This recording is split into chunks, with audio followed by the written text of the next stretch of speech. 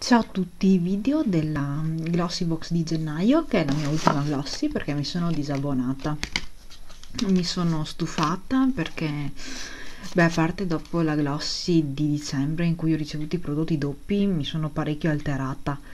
E poi perché il più delle volte sono prodotti che non è che io usi moltissimo quindi iniziavo a essere stufa insomma. Inoltre in questi ultimi tre mesi non mi è arrivata la cartolina contenente con eh, la descrizione del contenuto quindi non ho più potuto neanche verificare la proporzione di quanto speso e del valore contenuto nella glossy.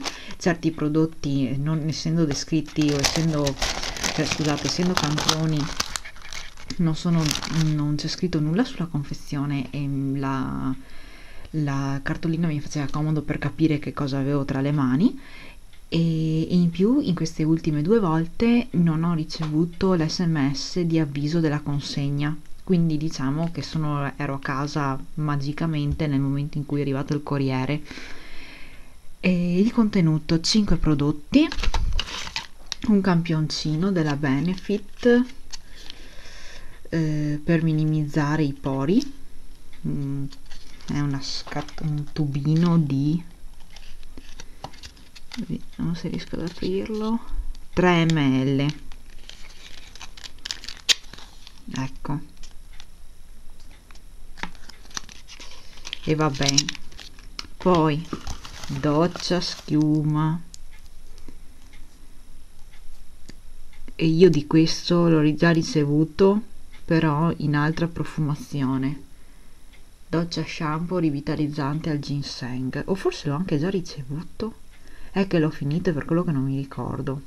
Comunque doccia schiuma. Che per carità io ero una sostenitrice di doccia schiuma perché comunque non sono una cosa che uso però due balle insomma basta. 40 ml smalto d'Alessandro taglia piena. 18 mesi di durata dell'apertura sono era prodotto prodotto in Gran Bretagna e sono 10 ml e avrei detto che faceva schifo invece come, come, colore perché avevo paura non fosse coprente invece è molto coprente quindi un beige coprente eh, lo rivaluto perché ho fatto lo swatch e non è malvagio.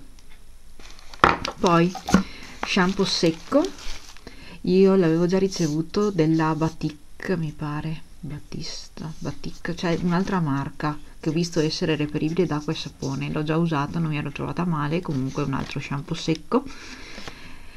E questo è prodotto in Gran Bretagna anche questo. Diciamo che è un prodotto salva occasioni. E dopo e qua mi tornerebbe utile la cartolina di Criola questo. Questo è un tester da espositore tester non in vendita. E non so cosa sia. Non so cosa sia. Mm, non so se sia un blush non so se sia un fondotinta non so se sia una cipria. Non lo so. Adesso eh, non so se mi sia sfuggito. Se voi vedete qua che ci sia scritto cosa sia me lo dite per piacere. Questo è il contenuto della mia glossy mia, oh scusami la mia ultima glossy io vi saluto e vi mando un abbraccio. Ciao